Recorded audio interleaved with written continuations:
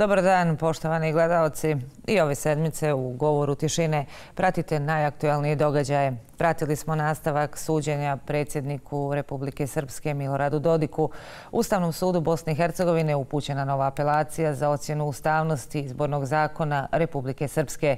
Probijen tunel Golubinja na koridoru 5C. Provjeravamo ko štiti potrošače. Vodimo vas na Blidinje, u Naregatu, a bili smo i na Majevici gdje je počela berba šljive. Ostanite sa nama.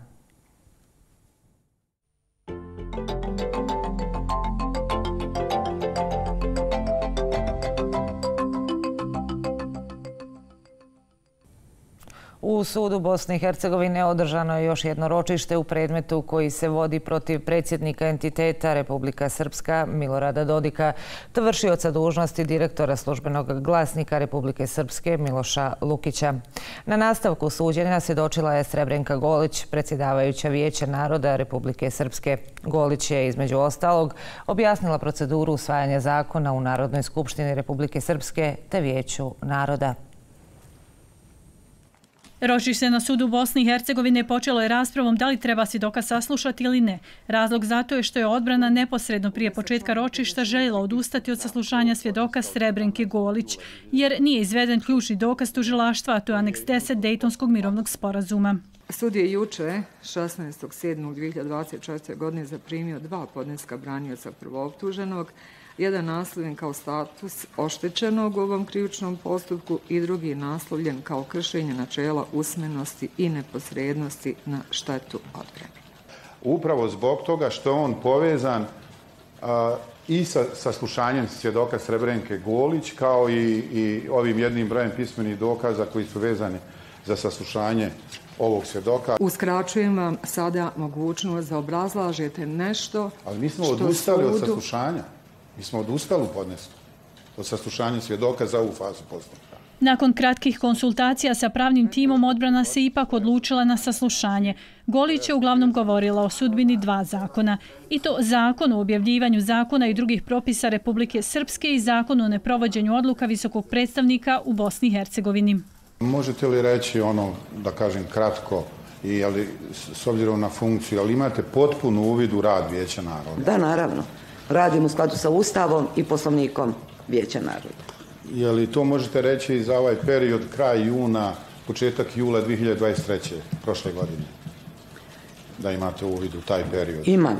Znači imamo uvid od samog imenovanja u kompletan rad Vijeća naroda, to je moja ustavna obaveza. Sutkinja Sena Uzunović je obrazložila i to zašto Kristijan Šmit nije mogao biti svjedok odbrane kazavši da Šmit ima diplomatski status.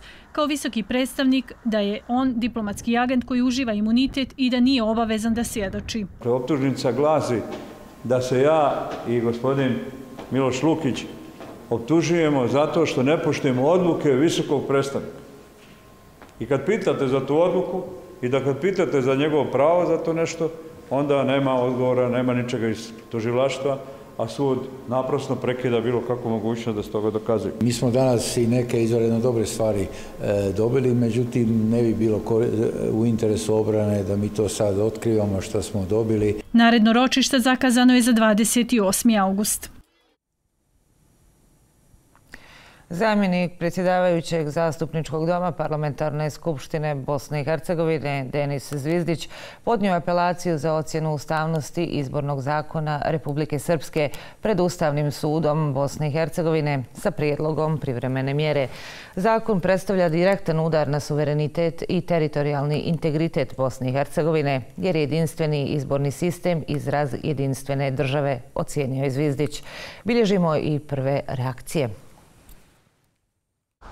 Ustavni sud Bosne i Hercegovine dobio je novu apelaciju. Ovaj put ocjenjivaće usklađenost ili neusklađenost izbornog zakona Republike Srpske sa Ustavom Bosne i Hercegovine. Apelaciju je podnio Denis Zvizdić. On smatra da se pomenutim zakonom oduzimaju nadležnosti CIKA i de facto stvara paralelni pravni poredak. Zato što mislim da je riječ o jednoj vrlo opasnoj aktivnosti kojim se pokušava u ustavni sistem Bosne i Hercegovine uvesti paralelizam.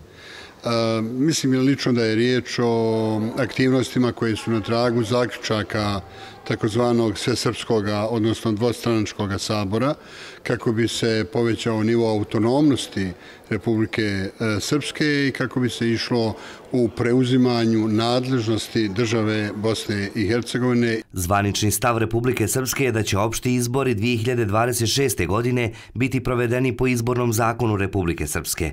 Pravno uporište izbornog zakona zakona Republike Srpske tvrde nalazi se u izbornom zakonu Bosne i Hercegovine. Zakon Republike Srpske donešen je na bazi Ustava Bosne i Hercegovine izbornog zakona Bosne i Hercegovine.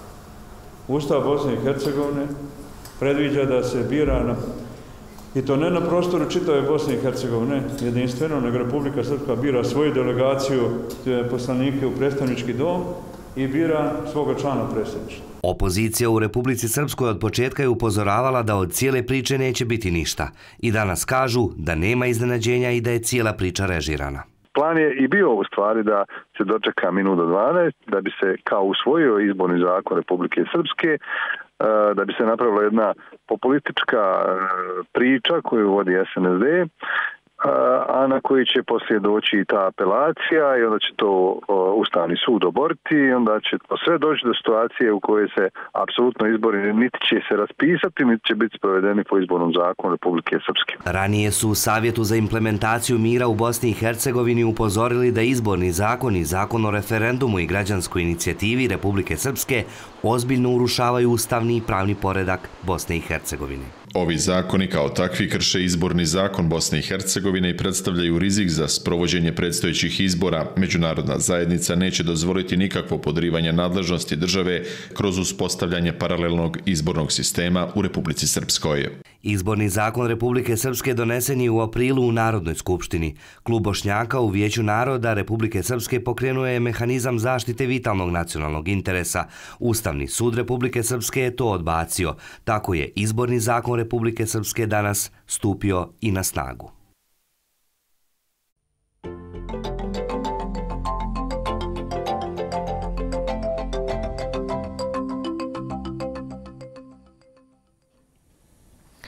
Iako su radovi na koridoru 5C počeli prije 20 godina, došlo se tek na pola puta.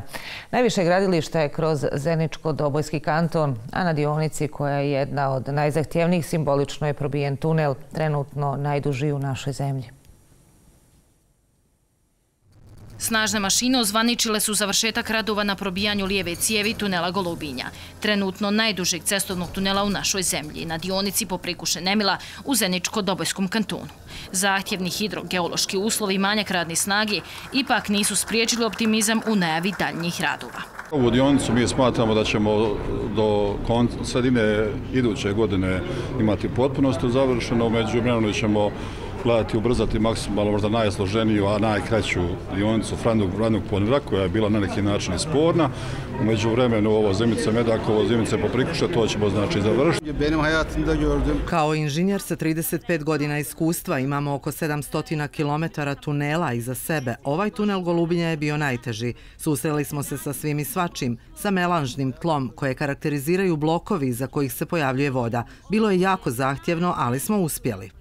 A kada bude završen, ovaj tunel znatno će skratiti put od Sarajeva ka sjeveru naše zemlje, jer će se zaobići okolna brda, odnosno neće se više morati voziti kanjonom rijeke Bosni.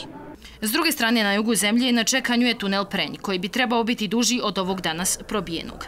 Iako se projekcije koje su ističe premijer Nikšić imali 2014. godine, da se koridor 5C završi do 2021. godine nisu ostvarile, ovaj put biće drugačije. Ovaj mandat zaista iskoristi sve moguće resurse da stavimo e, na raspolaganje kako bi okorčali ovaj sjeverni dio, kako bi spojili ovaj dole od Mostara e, juga do e, praktično granice. Ostaće nam da radimo tunel pren, dakle to ne može se u ovom mandatu završiti realno. Koordiniramo, dižemo tempo, dižemo dinamiku i svjesni toga odlučni smo u opredjeljenju da do 2026. godine pokušavamo dakle, izgraditi cijeli ovaj, kako mi to nazivamo, sjeverni dio, dio od Sarajeva do Savina. Izgradnja dionica finansira se sredstvima osiguranim u okviru ugovora o zajmu sklopljenog s Evropskom bankom za obnovu i razvoj, Evropske investicijske banke te bespovratnim sredstvima Evropske unije. Samo ova dionica koštaće 251 milion eura bez PDV-a. Do sada smo osigurali 870 miliona eura kroz bespovratna sredstva. To samo po sebi je potvrda da e, je ovo zaista ključni i najvažniji infrastrukturni projekat, prije svega u procesu približavanja Evropskoj uniji. Trenutno je u Federaciji Bosne i Hercegovine na trasi koridora 5C aktivno osam gradilišta sa preko 60 km puta u izgradnji. Povratnici najudaljenijih srebreničkih sela žive uglavnom od poljoprivrede, nerijetko odsječeni od opštine. Godinama se broj stanovnika smanjuje, a zbog nedostatka škole selima prijeti pustoš. Ekipa BHRT-a posjetila je Luku i Krušev do.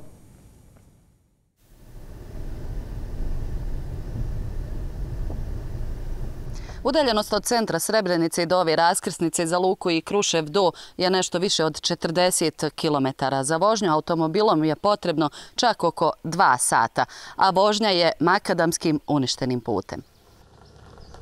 I tako su mještani mjesne zajednice Luka koje pripada i Krušev do nerijetko zimi naročito potpuno odsječeni od grada. Ovdje je danas oko 40 porodica, a prije rata je bilo više od hiljadu stanovnika.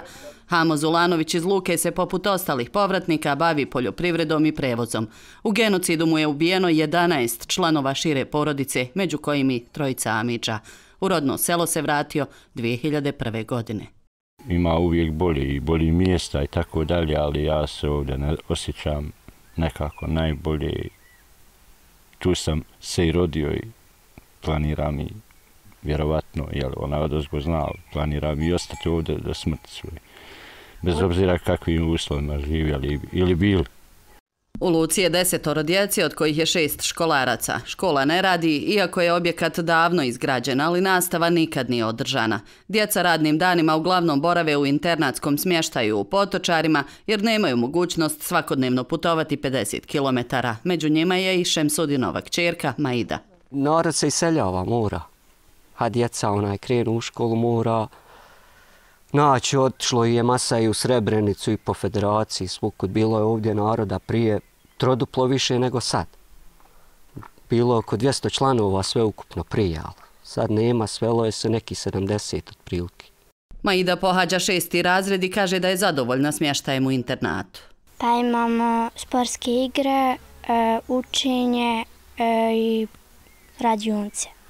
A bilo više voljela da imaš ovdje školu? Pa bi. I evo šta planiraš kad završiš školu? Imaš li želju šta postati? Frizer. Svake zime snježnim nanosima su odsječeni od Srebrenice. Strahuju hoće li im zatrebati ljekarska pomoć zajedno sa mještanima Krušev dola na doma Kluke u kojem ni djece više nema. U mom Kruševu dolu je danas e, 70 godina je prosek starosti i morate zamisliti kakav je život.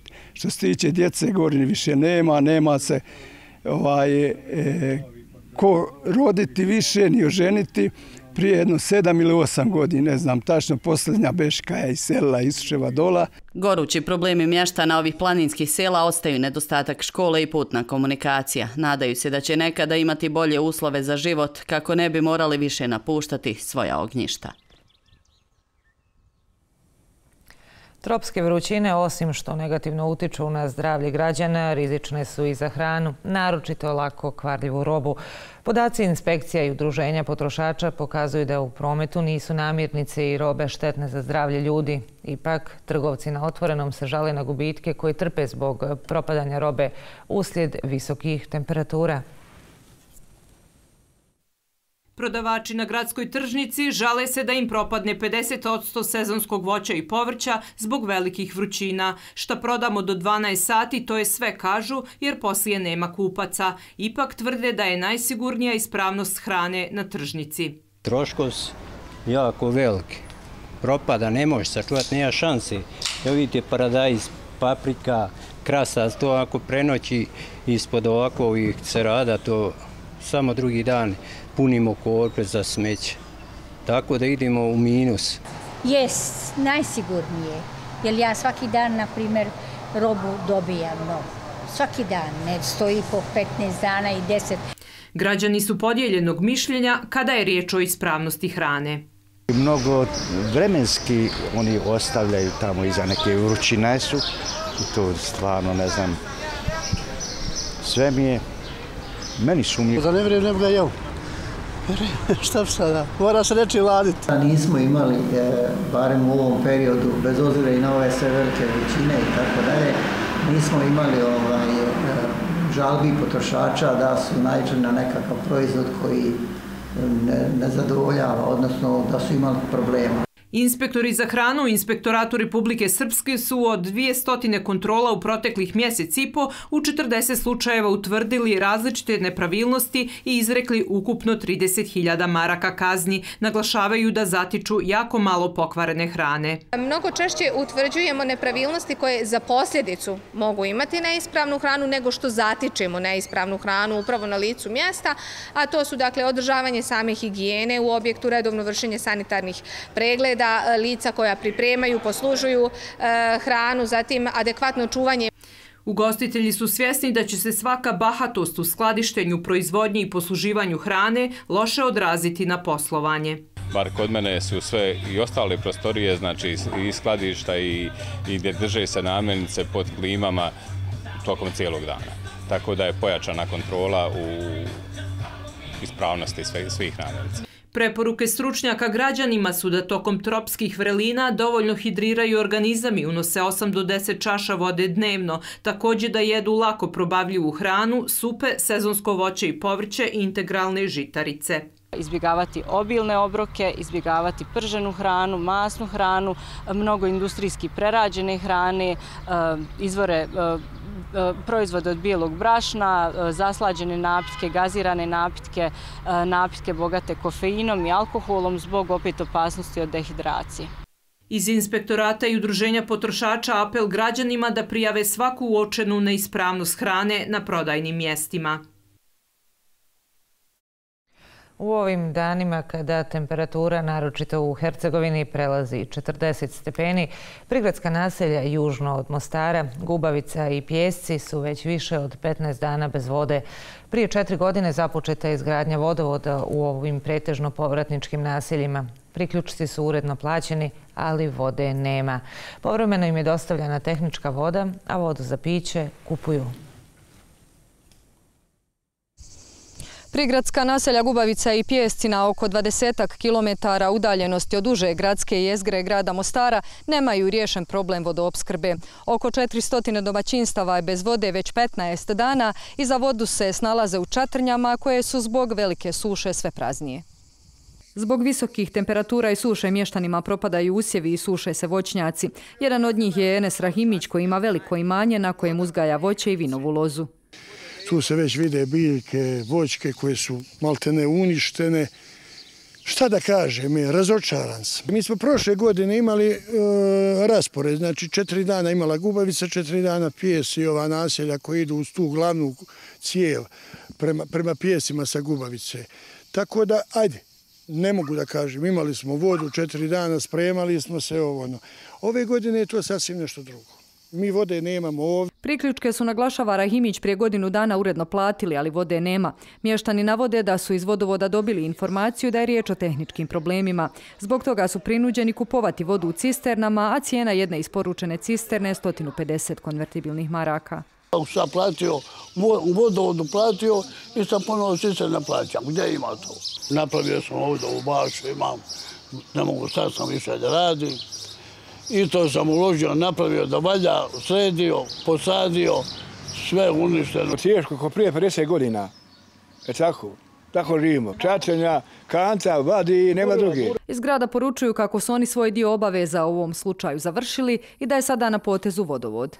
Sad je u fazi rješavanje ugovora sa vodovodom individualnih priključaka, znači za svaku kuću, oko 370 zahtjeva ima, 250 ugovora potpisanih, vodovod tu ima malo tehničkih problema, koliko sam upoznat, a trenutno zašto nema vode, po izjavi evo, iz vodovoda kažu da su u pitanju neki tehnički nedostaci i kvarovi koji će biti veoma brzo otklonjeni. Kada se voda vrati u ova naselja i dalje će to biti tehnička voda koja nije za piće i sa čim su naglašava Marić mještani saglasni od početka. Dolazak pitke vode u ova naselja sačekat će prema svemu sudeći neku novu vlast.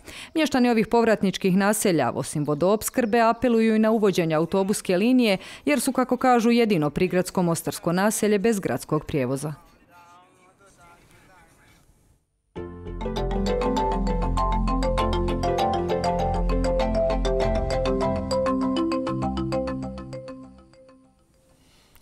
Prava potrošača su na vrlo niskom nivou. Neophodno je što prije zakonski urediti ovu oblast. Ovo je generalna ocjena učesnika konferencije o zaštiti prava potrošača koja je održana u Tuzli.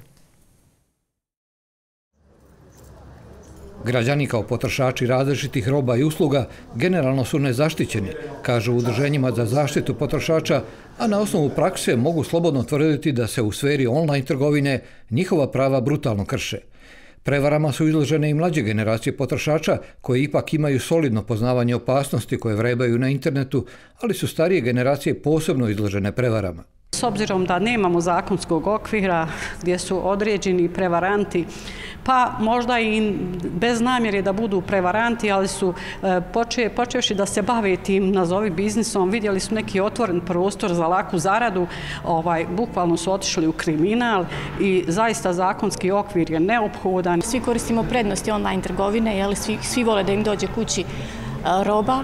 Međutim, ako nešto pođe po zlu, načini da se ljudi obeštete su jako teški, često imamo prijevara, problemi su krađe identiteta i svi, svi, sve opasnosti s tim povezane. Federalno ministarstvo trgovine formiralo je radnu grupu za izradu zakona o online trgovini kao lex specialis zakon, a do kraja godine trebao bi biti usvojeni zakon o zaštiti potrošača.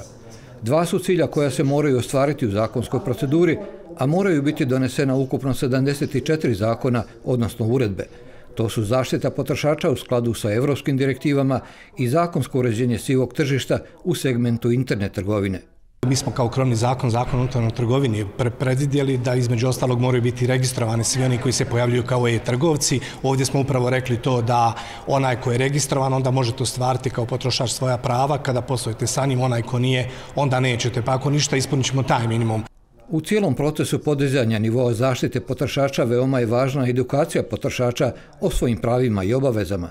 Zbog toga u kantonalnom ministarstvu trgovine namiravaju pokrenuti jednu web stranicu na kojoj će se potrošači moći upoznati sa svojim pravima, ali i prijaviti sve prevare kojima su izloženi, a ministarstvo će u saradnji sa udrženjima potrošača i inspekcijskim organima onda moći djelovati.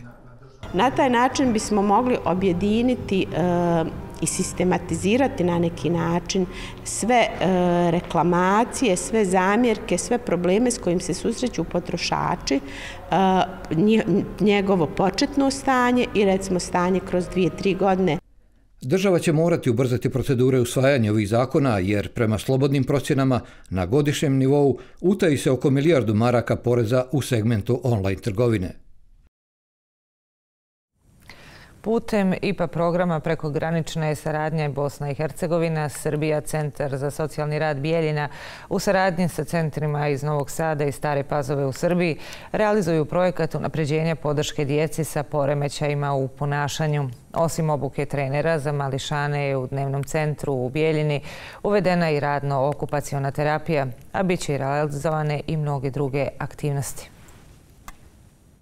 Kroz dnevni centar za djecu u riziku u Bijeljini svakog mjeseca prođe 45 maloljetnika sa određenim problemima u ponašanju. Svakoga dana kroz radionice, radno-okupacijonu terapiju i druge aktivnosti barem na kratko zaboravljaju probleme sa kojima se susreću tokom odrastanja. Oni imaju ovakav jedan prostor gdje mogu da e, primaju svu podršku, da se osjećaju sigurno, da im se pomogne, da prevaziđu te sve svoje probleme u ponašanju.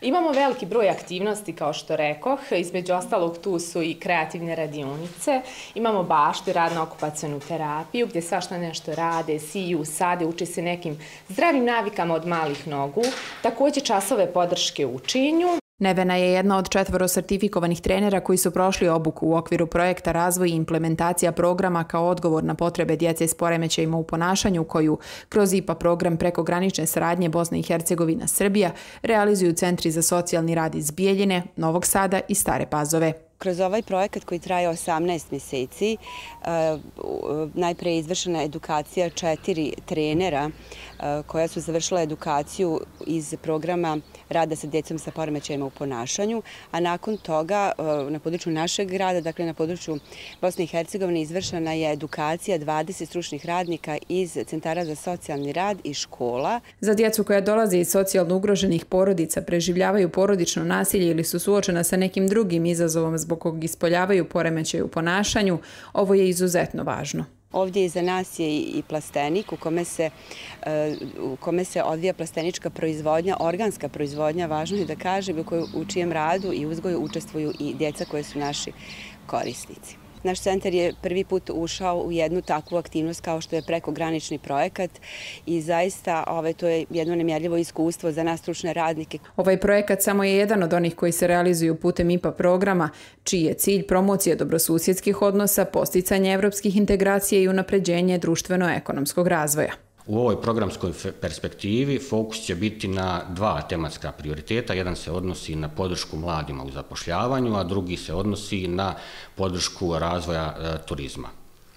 E, spomenuta sredstva dostupna su kroz javne pozive. Podržane su inicijative u oblasti zaštite okoliša, prevencije e, prirodnih katastrofa, reagovanja u hitnim situacijama, Eh, inicijative u oblasti zapošljavanja, u oblasti turizma i sl.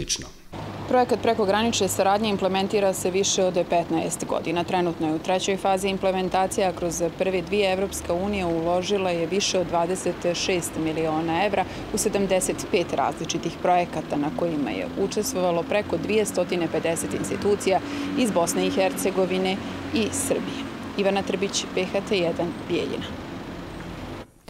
U voćnjacima na Majevici počela je berba ranih sorti šljiva. Najveći dio ovog voća bit će izvezen u zemlje Zapadne Evrope, a procijenjuje se da će tokom ljetne sezone ugljevički voćar izvesti oko 3000 tona različitih sorti šljiva, što je dvostruko više nego prošle godine. U voćnjacima na obroncima planine Majevice berba šljive u punom je jeku. Zbog visokih temperatura berba je poranila za nekih 15 dana, a kako kažu proizvođači, rod je odličan. Voćar Ilija Rikanović iz Puškovca ne pamti tako dobar prinos u svojim voćnjacima. Zadovoljan je i otkupnom cijenom koja ove godine iznosi od 90 feninga do marku i 30. Cijena je dobra, a prinos je rekordan za moje pojmove do sada. Ova sezona je dosta ranije počela, treba 15-20 dana, Rodom sam prezadovoljan, da sam zadovoljan. Najveći problem je radna snaga. Imam osmar radnika tuđih, 80 maraka dnevnica, idem svako jutro u Čelić po njih. Nema prevoza, drugačije, pretiško. Ne možeš ga naći, a ne pitaš pošto je. Samo da hoće doći. Dnevnice za sezonce ove godine kreću se od 60 do 80 maraka uz prevoz i nerijetko i hranu. Nije naporan ako hoćeš rati, ubere se od prilike do 50 gajbi, sve zavisi kako je rod, šta je a tu bere se 50 gajbi po osobi, ja mislim da može nabrati. Na području Ugljevika i Lopara skoro 70% voćnjaka je pod šljivom, a proizvođači mogu da računaju na premije za prodatu voće, ali i na postice za zasnivanje novih voćnjaka i zaštitu od grada. Nakon berbe, većina šljiva iz ovog kraja ide u izvoz. Procene su, znači da je oko 160 do 170 tuna otkupljeno i distribuirano na zapadno evropsko tržište ili je u pripremi za prodaju. Glavnom ide za austrijsko, njemačko tržište i one drugi, ali najčešće su ta dva tržišta. Procjene su da će tokom ljetne sezone majevički voćari u Evropu ukupno izvesti oko 3000 tona različitih sorti šljiva, dvostruko više nego prošle godine.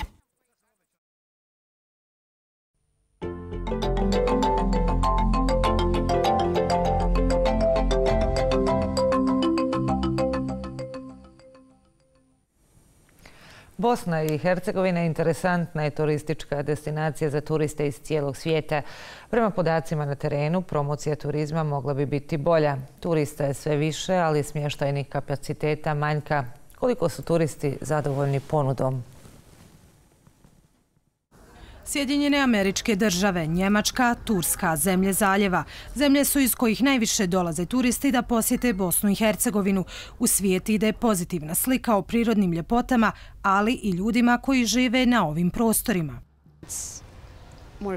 Jako je ugodno i opuštajuće. Sviđa mi se tvrđava, atmosfera je super. Mnogo mi se sviđa i hrana. Najviše volim ćevape. Na prvom mjestu Vrbas, pošto je sadržaj stvarno divan i plaže su sređene napokon. Banj brdo, kastel. Pored ćevapa koji su neizostavni dio turističke ponude, turisti najčešće kupuju lepeze sa motivom Sarajeva kao suvenir, a kako bi se rashladili u ovim vrućim ljetnim danima. Bili smo ovdje prošle godine, svidio nam se grad pa smo se vratili i ove godine. Želimo vidjeti tunel Spasa i Žičaru. Volim putovati svijetom. Ovdje mi je jako zanimljiva historija i prirodne ljepote i to što mnogo različitih naroda i ljudi i različitih religija ovdje žive zajedno. Svi su veoma ljubazni i gostoljubivi. To je zaista lijepo. Probao sam ćevape i nargilu. Fascinantan mi je spoj istoka i zapada koji je ovdje prisutan.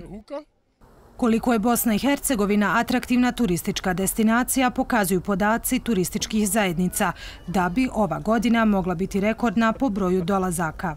Sarajevo i Bosna i Hercegovina je još uvijek neistražena destinacija. To je ta jedan adrenalin i nešto što ljude vuče. Čuli su za naše gostoprimstvo, gastronomiju, kulturno-istorijske vrijednosti, sjecište istoka i zapada i sve ono što Sarajevo nudi. Najtraženija aktivnost je rafting. Mnogi naši posjetioci našeg grada e, ovaj, prvo što posjete, a to je stari grad, odnosno i tvrđavu Kastel. E, vožnje dajakom su također atraktivne. Evidentno je da je posjećenost zasigurno veća nego proteklom periodu. Stari grad, stari most prebukiran, što naravno nama kao turističkoj zajednici istovremeno predstavlja zadovoljstvo, ali jedan veliki izazov. Grad Mostar nije samo stara jezga grada, Grad Mostar je i banja, i vječnica, i gimnazija. Turističke grupe ostaju od 7 do 12 dana u BiH, no iz godine u godinu sve više nedostaje hotelskih kapaciteta, kažu iz turističke agencije posebno ću istaći problem Bihaća, gdje je kao destinacija vrlo interesantna. Međutim, problem je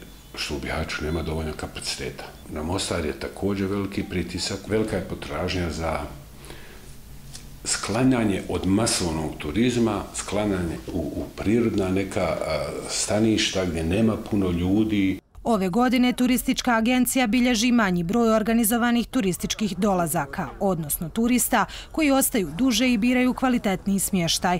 Primjetne su i sve veće cijene smještaja, a koje ne prate nužno kvalitet, kažu iz agencije.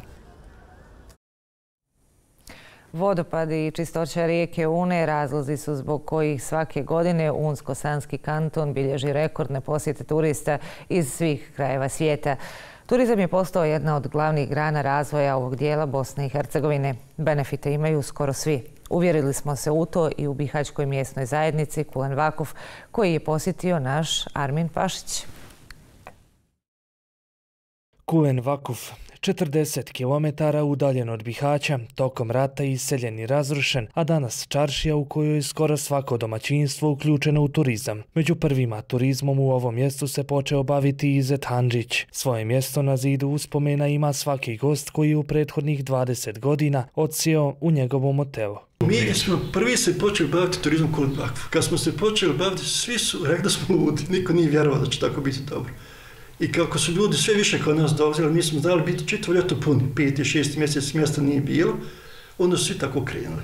Stari je došao na ideju da gosti koji dolaze, da ih uslikamo, da stavimo na ovaj plakat, tu se vide gosti, recimo, koji su prije 20 godina znali biti kod nas, pa im je drago kad dođe da se vide.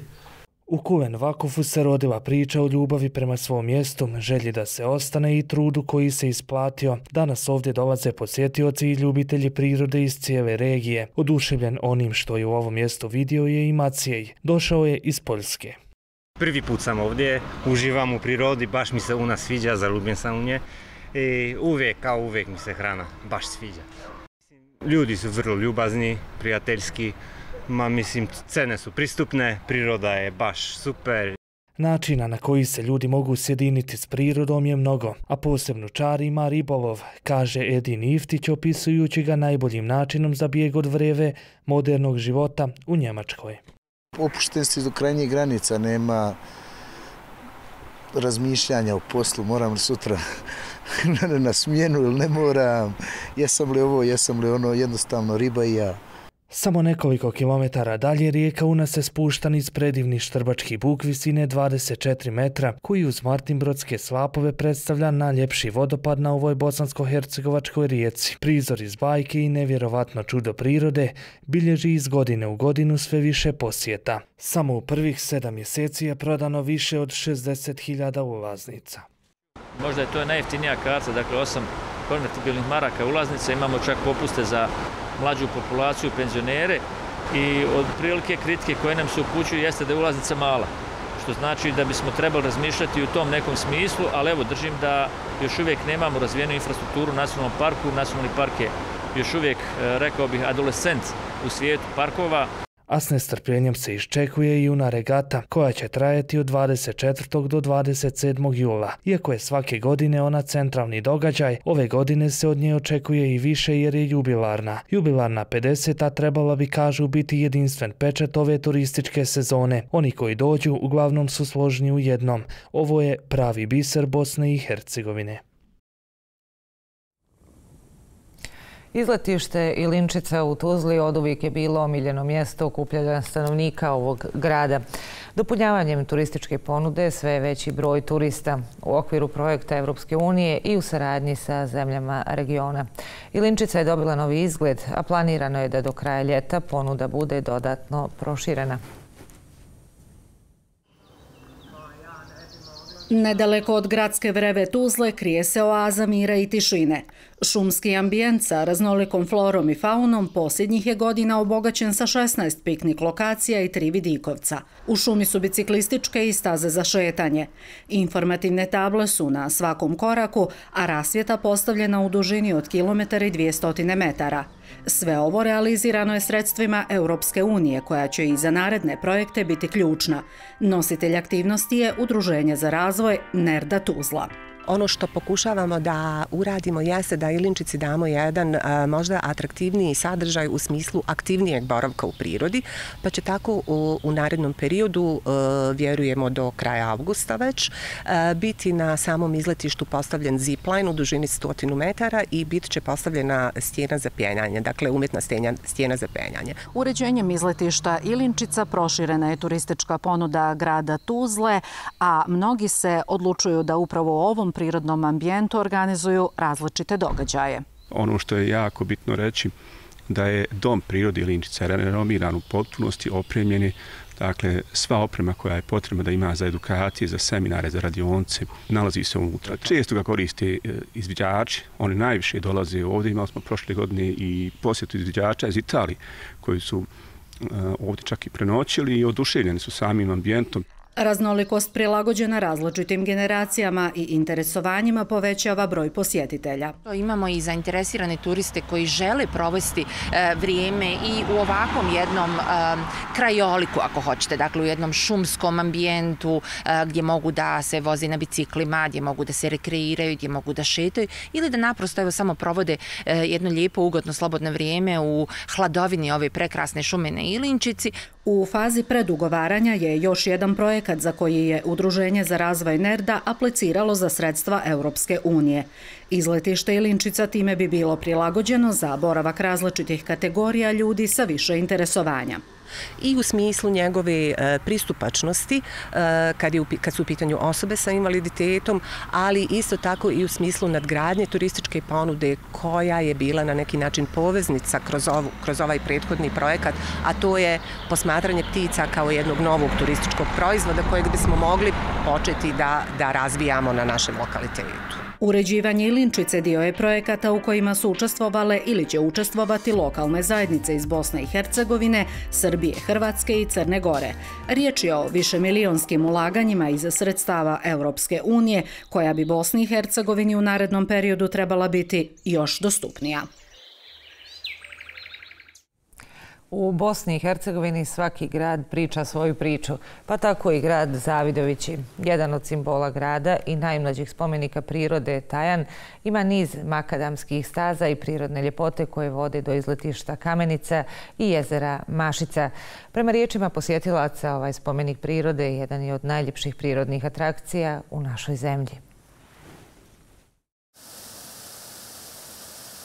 Spomenik prirode Tajan je područje bogato čistim vodenim tokovima, kanjonima, prirodnim kamenim mostovima, speleološkim objektima i vodopadima. Jedno od najposjećenijih dijelova ovog spomenika je kamenica, poznato izletište, smješteno u prirodnom ambijentu, koje je idealno za porodični odmor i rekreaciju.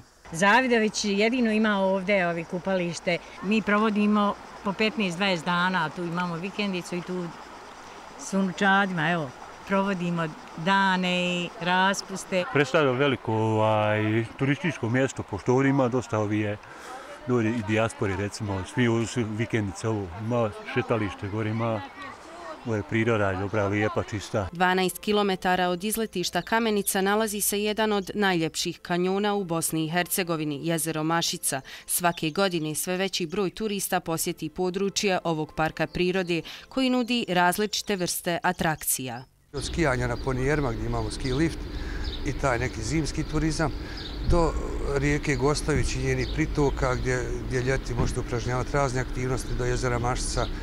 Ovaj, e, brski biciklizam isto dosta razvijen, idealni su uslovi. Mi smo prije više od deset godina markirali i obilježili preko 200 km bicikličkih planinarskih staza. Kroz dugogodišnja istraživanja ustanovilo se da je Tajan jedno zaista izuzetno područje kad govorimo o aspektu biodiversiteta i značajnih prirodnih vrijednosti.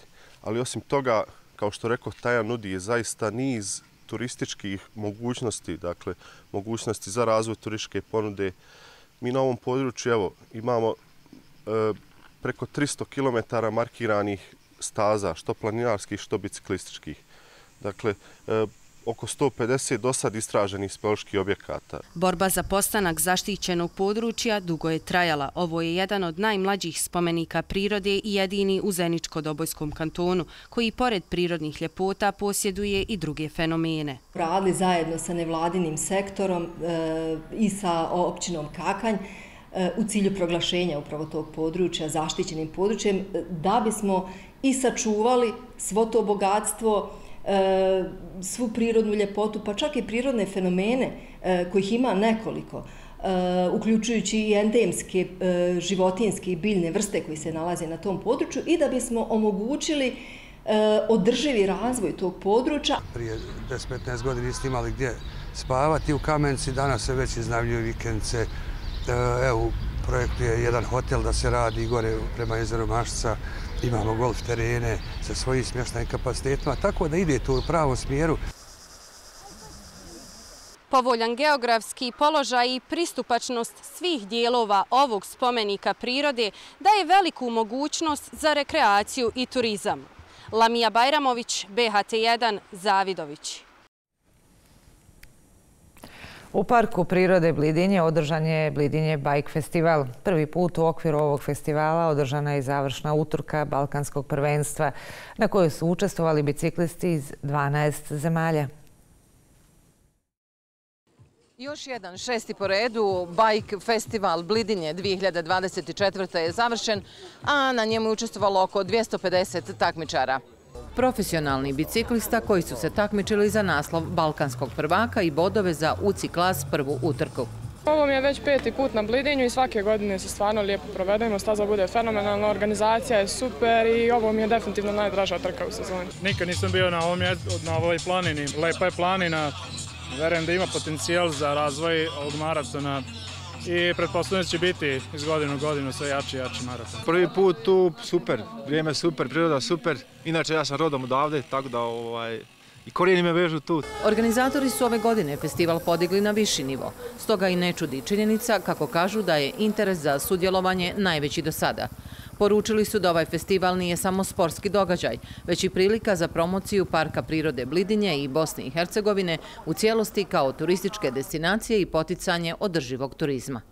Jako puno ljudi, više od stotinu ljudi ukupno gledano radi na ovome projektu da bi se protekao u najboljem redu i da bi evo, našu zemlju predstavili kao jednu destinaciju sportsku i turističku, tako da svi ljudi ovi ponovo dođu ovdje i uživaju, jer Bosna i Hercegovina doista ima šta za ponuditi. Blidinje Bike Festival koji se održava u Parku prirode Blidinje najveći je biciklistički festival u Bosni i Hercegovini, a ovoj godini ulazi u kalendar Međunarodne biciklističke federacije i postaje UCI događaj visoke UCI klas prve kategorije. Biciklisti koji su danas vozili utrku dobit će vrijedne UCI bodove za prestojeće olimpijske igre u Parizu. Razumijemo što nešto puno engleskog i onako, čuvat ćemo za finale večeras. Manifestacija Ljeto na Vrbasu zvanično je otvorena u Banja Luci tradicionalnim skokovima sa Gradskog mosta. Pobjednik Banja Lučke laste je Igor Arsenić. Dugru mesto osvojio je Dino Bajrić, a treće je Dušan Arsenić. Najljepšu Banja Lučku lastu po peti put je skokom sa gradskog mosta izveo Igor Arsenić. Njegov brat Dušan osvojio je treće mjesto. Kažu da su skokovi njihova porodična tradicija koju s ponosom čuvaju. Mislim da Banja Lučka lasta treba da dobije status i simbol grada i da ovdje na gradskom mostu imamo jednu novu ideju da napravimo statu laste i da ta statua stoji na gradskom mostu. To će biti naša inicijativa koju ćemo pokrenuti A drugoplasirani Dino Bajrić saopštio je da su klubovi skakača iz nekoliko gradova u Bosni i Hercegovini dogovorili da formiraju Savez skokova u vodu BiH kako bi ušli u olimpijski komitet. Zadovoljan je plasmanom, a i Banja Lukom. Između dva Arsenića znači kod da ste prvo mjesto. Ona, ne, e, možda je ovo treće, e, treće zaredom da sam osvojio drugo mjesto u, u Banja Luci. Drago mi je zato što volim doći u Banja Luku. Publika je uživala gledajući umjeće 19 skakača iz Bosne i Hercegovine. Svi skokovi su prošli bezbjedno. I ove godine odlično kao i svake godine. Sjajna atmosfera, divna publika, sve odlično.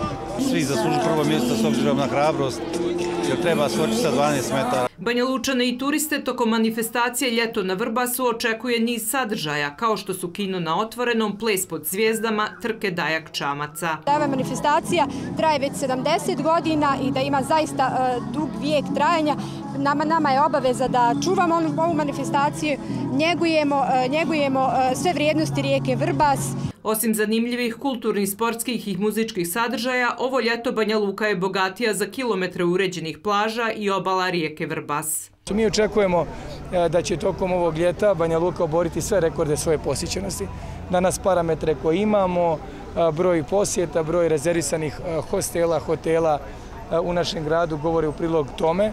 U mnoštvu zanimljivih sadržaja ove manifestacije posjetioci će moći uživati do 30. jula.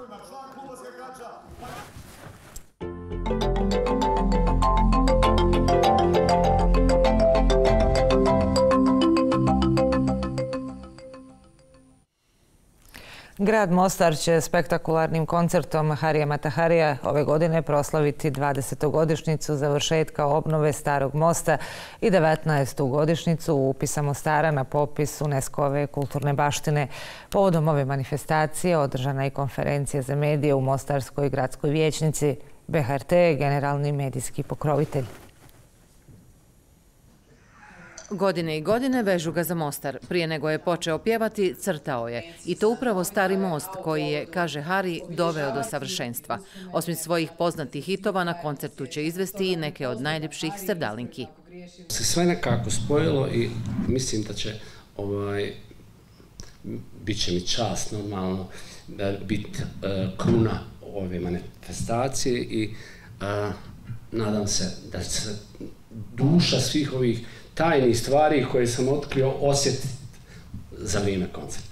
U ime BHRT-a, koji je generalni medijski pokrovitelj, Medina Šehić je kazala da će naša televizijska kuća u skladu sa svojim programskim opredjeljenjem i ulogom i misijom javnog servisa dati doprinos obilježavanju ovog velikog događaja obnove Starog mosta u Mostaru jer mislim da se svi e, organizatori, grad, gradsko vijeće, e, naš umjetnik Hari i televizija Bosne i Hercegovine, vjerujem, osjećamo svi malo bliže mostarima, čuvarima starog mosta, e, u pravom smislu te čarobne i magične riječi sa više aspekata i nivoa.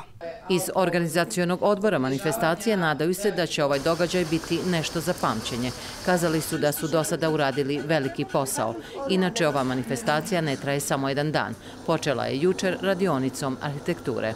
Ono e, važno je međunarodna konferencija E, koja će se održati 22. E, večernim satima, početak ove konferencije, a 23. je glavna ova međunarodna konferencija i da kažem, ona se zove Dialog za budućnost 2024. Glavni dio centralne manifestacije je 23. jula i počinje u 21 sat. Obraćanjem gostiju i dodjelom zahvalnica i priznanja ličnostima i zemljama koje su pomogle Mostaru i u obnovi Starog mosta, a na kraju dolazi koncert Hari Mataharija. Ovaj jedinstveni muzički događaj je poklon grada Mostara svim građanima i bit će besplatan, a iz organizacijonog odbora pozvali su sve Mostarce i građane Bosne Bosne i Hercegovine da dođu. Festival narodne muzike i 2024 biće održana 27. i 28. augusta u organizaciji opštine Iliđa i BHRT.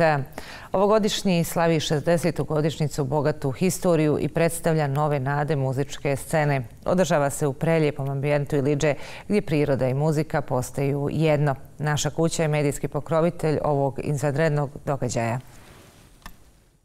Jedan veliki aplauz za ovo. Na ovogodišnjem Iliđanskom festivalu posjetioci će imati priliku uživati u nastupima vrhunskih izvođača i takmičara. Iliđanska scena će ugostiti legende i mlade talente koji će kroz svoje interpretacije probuditi emocije svim prisutnim. Izbor finalnih 15 kompozicija je bio težak zadatak za komisiju, ali ipak izabrali su one koje su ispunili sve uslove i standarde. Na konkursu je bilo 70 pjesama i selekcijona komisija je dakle odabrala 15 pjesama. Kriterij za odabir kompozicija je bio da tražimo dobru pjesmu, tekst i melodiju.